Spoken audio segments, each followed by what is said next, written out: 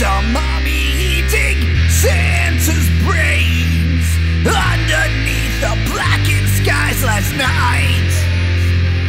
She said she was in bed, but I think she's full of shit.